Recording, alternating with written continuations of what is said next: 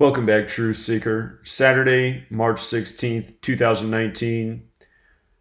On this day in New Zealand, the supposed shooter of the Christchurch Mosque posed with police officers in court and did the 666 hand gesture for the cameras. And this media has been put out by all of mainstream media.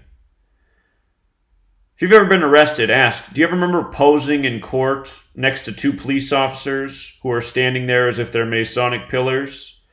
I only see these types of photos in these mass shootings. The last time I saw an image like this, it was with Dylann Storm Roof, the Charleston church shooter. And one should also ask why is this man's face blurred out? They've already released the image of his face from the video in the media, so why today does it need to be blurred out? Doesn't really make a lot of sense either.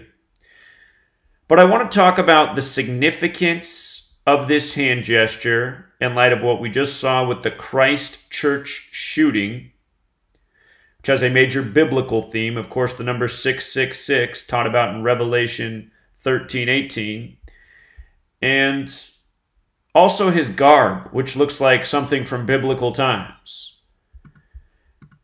So, in Gematria, using the Sumerian cipher, which is multiplying the alphabetic order times six, fingers equals 666. This is something you can learn about in my book, which is now banned everywhere. So, hopefully, you got it before it was banned.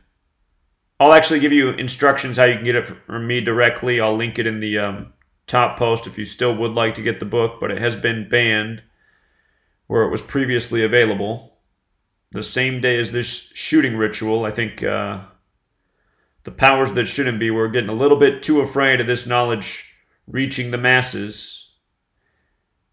You know, I had two videos go viral about this shooting, and the next thing you know, the book's banned. Anyhow, 666 fingers. Fingers has that 666 gematria. The interesting thing about 666 is it's the 36th triangular number, meaning if you had 1 through 36 together, it equals 666. And the number 151 is the 36th prime number. Now remember, this happened in Christchurch, New Zealand. Jesus Christ has that gematria of 151. So 666, the 36th triangular number, 151, the 36th prime. The powers that shouldn't be are trying to ignite a holy war between the Christians and the Islamic faith, which they've been working very hard at, especially since the time of September 11th. Today, the day of this pose is March 16th, the date that's written 316 in a lot of the world, reminding of John 3:16, the most known verse in the Bible about Jesus. What a lot of people don't know is that in Hebrew gematria, the numerical value of Jesus Christ is 316. John 3:16 For God so loved the world that he gave his one and only son that whoever believes in him shall not perish but have eternal life. Christchurch shooting of a mosque. And as we discussed very thoroughly, the shooting was March 15th, the Ides of March, the 74th day of the year. Later, it emerged that the shooter had released a 74 page manifesto. Every mainstream outlet reported this number, a very symbolic number in these shootings. As we discussed, Jesus Christ in English sums to 74. Jesus also 74. Same with Messiah, same with cross, same with gospel, same with parables, same with Muhammad. And in recent years, we saw the death of Muhammad Ali at age 74 on June 3rd. The Prophet Muhammad dead at age 63. Also, again, the shooting was on March 15th, the 74th day of the year. Active shooter also sums to 74. So does killing. So does English, so does Gematria, so does Jewish, so does Tarot, so does Masonic, so does Occult. There's the song out there, Gematria, the killing name. Gematria is the practice of coding numbers into words. The English language is based on this code. It comes from Jewish mysticism, Kabbalah, which is related to tarot cards. This knowledge is Masonic. This knowledge is occult. I should also mention that in this same cipher, Lucifer sums to 74, the name for Satan from the King James Bible. King James, who was a Freemason. Lucifer, 666, number of the beast. With regards to Freemasonry, we pointed out that the date of this shooting was a span of 47 days from the anniversary of the establishment of the Grand Lodge in New Zealand. 47, 74, very symbolic numbers to the Masons. Their compass set at 47 degrees. Government 47, authority 47, policeman 47, cop 47. The police spokesperson for this was Mike Bush. Mike Bush 47. In light of the Christian themes, the word Christians 47, the name John's 47, the word save is 47. In the New International Version of the Bible, there's 47 mentions of Satan. The word beast is 47.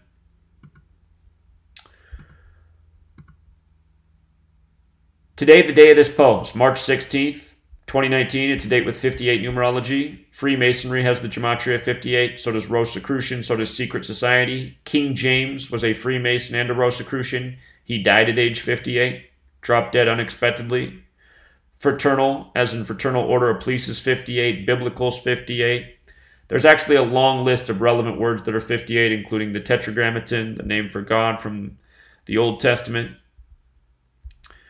As for 33, big Masonic number, police, masonry, secrecy, order, all 33. Is this man's face blurry for the symbolism?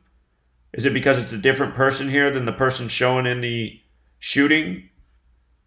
You know, Perhaps that man won't do any time. Perhaps he's part of this Masonic Brotherhood, just fulfilling his role in the ordeal, as I said the day of the news. Like I said from day one, the police are a part of this, otherwise, there would have been a police response. In the videos, you would have heard the sirens of the police in the distance responding. There was enough time for there to be a police response. The shooter took his sweet time like he knew he had all day.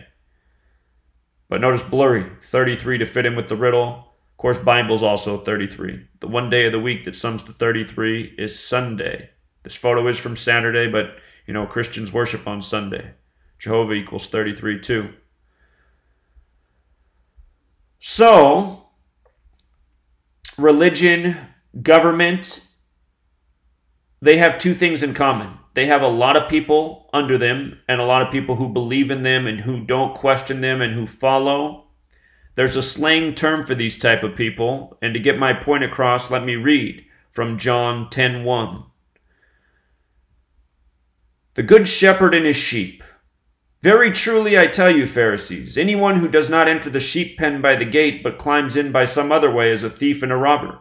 The one who enters by the gate is the shepherd of the sheep. The gatekeeper who opens the gate for him, and the sheep listen to his voice. He calls his own sheep by name and leads them out.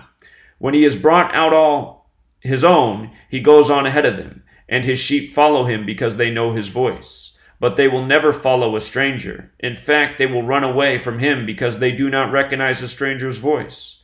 Jesus used this figure of speech, but the Pharisees did not understand what he was telling them. Therefore, Jesus said again, Very truly I tell you, I am the gate for the sheep. All who have come before me are thieves and robbers, but the sheep have not listened to them. I am the gate. Whoever enters through me will be saved. They will come in and go out and find pasture. The thief comes only to steal and kill and destroy. I have come that they may have life and have it to the full. By the way, the word gate equals 33. But again, sheep so much symbolism of sheep in the Bible and following and believing, the word with the lie in the middle. And again, government is here to control you, so is religion.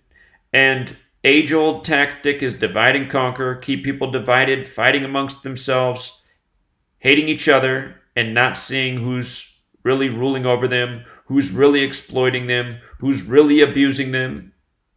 Police, military, government, authority, media.